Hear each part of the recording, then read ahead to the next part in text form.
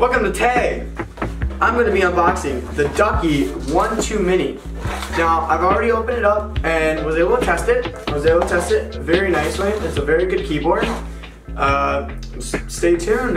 Technology, automotive, and gaming.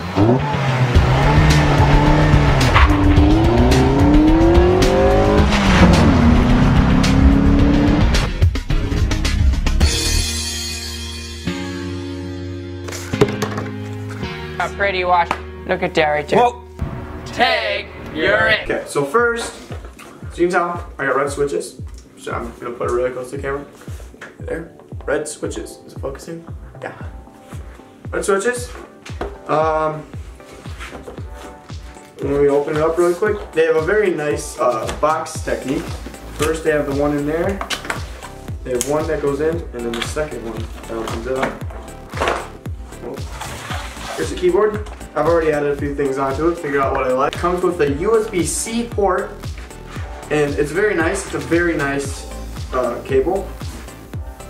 But a couple things you can do. In the back here, there are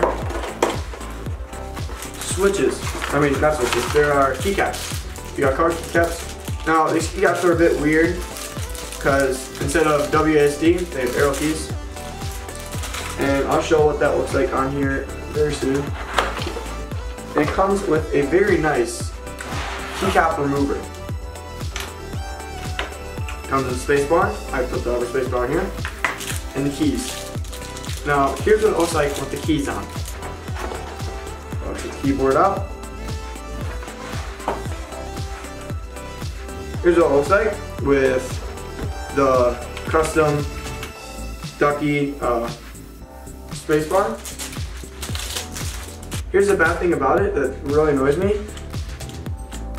See how like it's clear here? It's not clear here. You, you don't see the color through it. Not appealing. I feel like every video I've seen, they don't have the China key up here. They have the Ducky key. So I'm not gonna put the Ching key. I don't know what that is. So Ducky does give you keycaps, as you can see, but the blue keycaps, I just, the arrows, they just, they just don't fit me. Also, when the lights are on, the, the color doesn't go through the arrows as they do with the numbers and letters.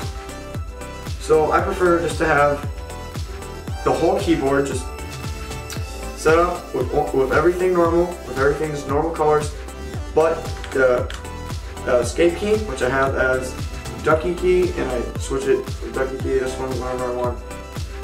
Now, the keyboard does come with one thing. I don't know its use, but it's this key. I don't, I mean, can't really see it. It is a diagonal key. It's meant to be put on diagonally. I don't know where it goes. There, I'm sure there's some computer, a bigger computer. It's probably meant for a bigger uh, keyboard, not computer. Probably meant for a bigger keyboard. Go on the side, there's probably some button there. Probably some value. Ducky 1-2 Mini weighs 590 grams. It is 32 point, I mean it's 30.2 centimeters long, and it is 10.8 centimeters tall. 4 centimeters high. It's a very small keyboard, you know, 60%, and couldn't find anything on the latency. Although I played with it, it is a very, it's it's a very good gaming keyboard. So you could just assume that it has a very low latency. And yeah, the great specs. I personally played with it. I personally played with the keyboard a lot.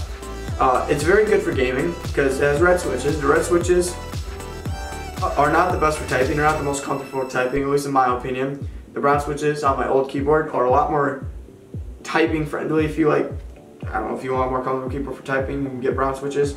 Red switches, I'd say, it'd be more for gaming. Um, yeah, and then and then this keyboard has a very special feature where if you press the function key, there's many different things you can do. Now, as you can tell, it does not have arrow keys, but there are technically arrow keys. You press function key, the I, the J, K, and L are pretty much arrow keys. You just have to hold this and push them. It's not the most convenient, but it works. And there's a couple other cool things on here. You press the function key, have all the, have all of your F's F1, 2, 3, 4, all the way up to 12. And then something very interesting about this keyboard. Very interesting.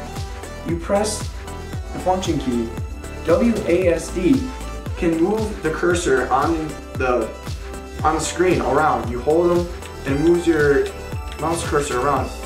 Now, I don't know why would you ever have to use this, but if you're ever on the go and you just happen to not have a mouse or a touchpad or anything, then yeah, I guess I guess you could use this. Or if you're using your phone, someone connects it to your phone, I guess that could be a thing that works. Um, yeah, there's a lot of weird things on here. You have your volume settings, you have all of this, you have your home key, everything's on here. So don't have to worry about losing all your all the keys that you would normally have on a 100% keyboard because this keyboard's dual, it's dual, it's dual used. You could, every key has another function, well most keys.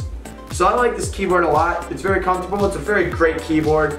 I'd say it's one of the best on the market. In the, it's not the best. At one point it was very great. It's kind of come down through time, but if you if you want a keyboard for gaming, this could get you anywhere. You are good enough with this keyboard. It is great. Has all these extra functions, all these extra things you can do. Nice, nice thing. You know, really nice to play games on. And yeah, Tag, you're it. It's too early in the morning. I need some coffee.